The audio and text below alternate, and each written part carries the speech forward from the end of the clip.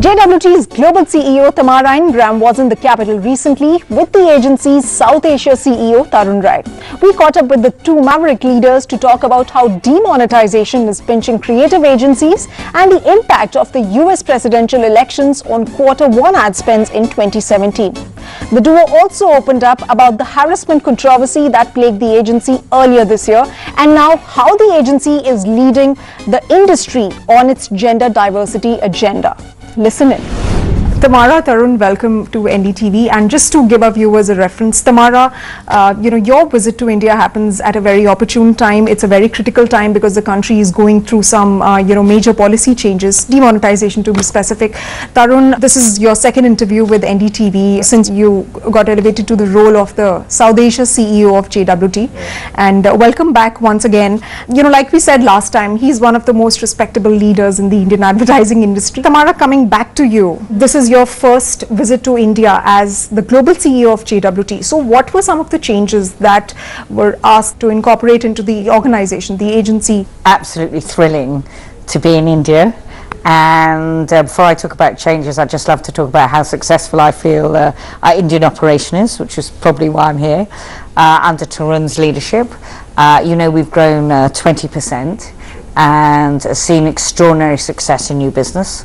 And I feel that's due to um, the wonderful culture that uh, Tarun has uh, created.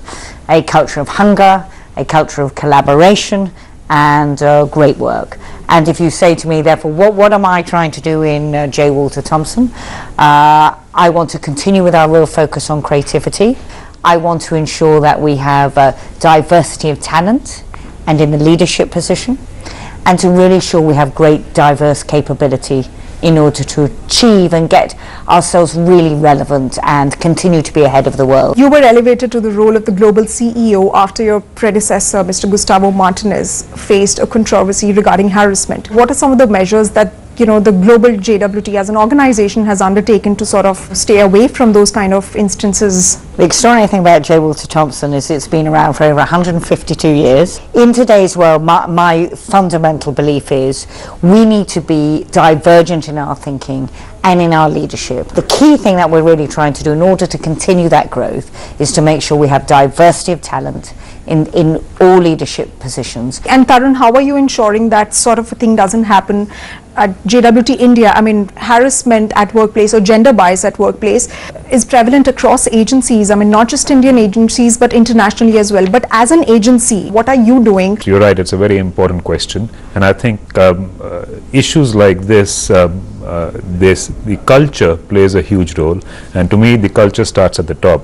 So yes, it starts with Tamara and it's it's going through the organization through people like me who are part of her uh, leadership team and i'm very lucky that 50% uh, of our leadership team is actually women communicating this to the rest of the organization becomes easier if my leadership team has got gender diversity uh, which is 50-50. We are lucky, but that doesn't mean that we are not conscious of the fact that uh, this is something that we have to guard against every day. Uh, a lot of times people are uh, unintentionally behaving in a particular manner and uh, we have to be, uh, they don't may, may, not mean it, but we have to be deliberately conscious of the fact that culture needs to be built on a daily basis. You know, it's not like a diktat. Moving on to the topic of demonetization, is that really affecting creative agencies, Tarun? Because that's clearly affecting media agencies. Approximately 300 to 600 crores of advertising is currently on hold and may get cancelled in the next three to six months. If our client's business is getting affected in the short run, which it is,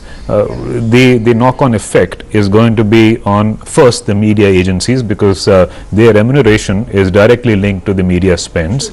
And then to creative agencies also because a lot of clients are remunerating us on retainer fees. And uh, for us uh, uh, our calendar so year uh, any kind of money exchange but is there a dip in sentiments? Uh, are there any there particular is. brands that are saying that you know let's put some of our advertising on hold for uh, for the moment and maybe there is, let's there is a lot of discussion. There is a lot of discussion. And in fact Tam and I have been meeting clients over the past few days.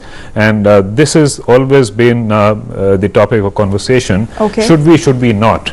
Uh, Okay. For how long should we defer it? Because it's also dangerous to defer it for too long because uh, when the tide turns, uh, the brands which did not drop their share of voice uh, precipitously about are the ones who are going to gain. But is, is the uh, business affected? Uh, very much so. A lot of our clients are in the FMCG space and their business certainly is affected. those companies that invest in their brands and continue to find ways of um, looking after them will, will actually grow. Moving on to the other big thing that happened, uh, you know, this year in November is the U.S. presidential elections. The outcome was completely different from what opinion polls, election experts, agencies, data collectors, all of them had collectively predicted.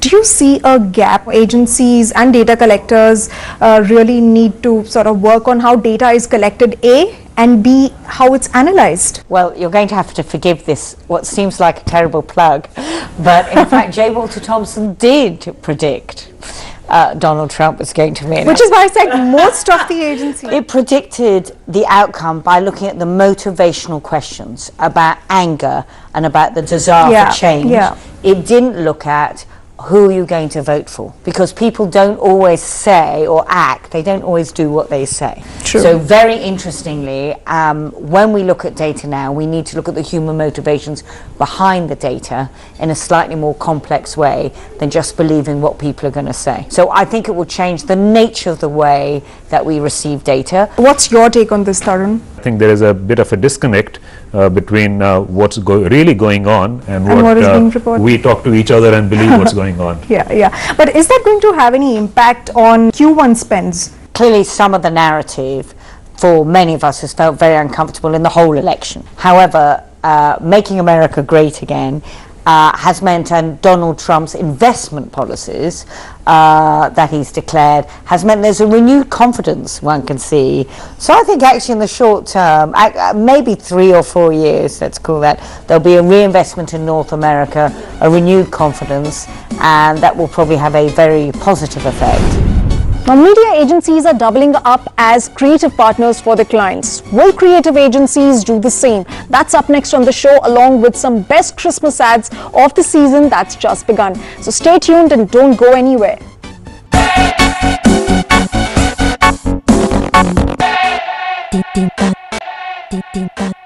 How are you as an agency geared up to take the challenge of technology, data, digital, all combining and all becoming an active part of what the entire creative industry is all about? Traditional agencies, legacy agencies have often been criticized for not keeping pace with what's really happening. We've grown, uh, Tarun and his leadership in India has grown 20% with a, a win of 140 brands for precisely the opposite view. It is because um, we need to bring things together Okay. because people people receive messages from wherever, whenever. That pulling that together, that being really 360 has become even more important. You know, media agencies. This is how they're approaching it. They're also offering creative services besides, um, you know, their media services. So agencies like Maxus, they have content creation arms. What about creative agencies? Will creative agencies anytime soon start looking at media? A couple of our digital agencies are also buying media because uh, uh, buying media on uh, on digital is very different from buying media in traditional media because in on digital content and media are so closely interlinked that sometimes it makes sense for the content creators to actually be buying uh, digital. So it's happening but but you're right. Uh, it's not just the media agencies trying to en- encroach on the so-called traditional areas of uh, what the creative agency was doing. Even consultants are. So there is uh, much more for everyone to do. The key is going to be who pulls in all these disparate platforms together at the end of the day there is one brand message to be delivered to one consumer So integration is clearly the way forward for all creative agencies. to- Integration and collaboration. Also, the other challenge that creative agencies often face is that of talent retention. You know, because you have so many creative outlets that are part of the uh, the the, uh, the creative advertising fraternity. You have arts, you have rappers who are also part of independent filmmakers, digital content creators who are as young as um, you know perhaps 25 or 30 who are running their own businesses. So, how do you deal with that talent retention challenge? uh, when I joined, that was around the time I joined, our uh, uh, attrition rate was 42%. Okay. And now, and we are in the month of November, December, it's down to 19%. So, so we have been able to retain talent. We have actually uh, made sure that we give uh, our people enough opportunities and create a culture of fun. Uh, the only thing is that maybe, maybe we have not uh, afforded as many opportunities for our people. We have got people from uh, Google and Facebook and Snapdeal and, uh, Okay. and Paytm. Uh, it depends on what kind of opportunities are affording them, and we are lucky that in J. Walter Thompson Company we have uh, we don't even uh, we don't just have the the traditional agency. Uh, we have got uh, more diverse jobs. What are your priorities going to be for 2017? Globally, it's uh, creativity, growth, talent. Absolutely nailing diversity of talent and diversity of capability. And Tarun, Well, um, I, I couldn't agree with her more. Going forward for our clients um, and for us, there is going to be so much disruption. We, have, we, we haven't even seen it. I mean, even though even the clients are going to uh, demand and need a lot of strategy planning, and especially J. Walter Thompson, who invented planning, I think it's incumbent for us to beef up our, our planning departments, our strategic planning, I'd like Tarun to ask Tamara one question. Tamara, one question to Tarun. So I ask a difficult question, you'll ask me an even harder question. easy I'll ask you question. an easy one. So you have been to now Mumbai, Bangalore, and now in, in New Delhi. Uh, what is that one thing that uh, that is common between uh, all that you have experienced in India so far? The most extraordinary thing about India is uh, her people. Everything I experience is warmth, generosity, and of course, uh, great argument.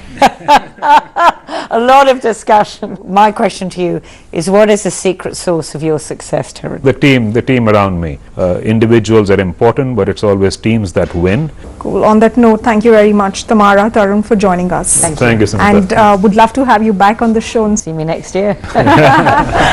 So clearly, going forward, bringing together the disparate and diverse platforms and services will be one of the key reasons for creative agencies to remain relevant, which are still struggling to find their long lost status. Now, moving on, the Christmas season is on, and who's winning the battle of becoming the best Christmas ad?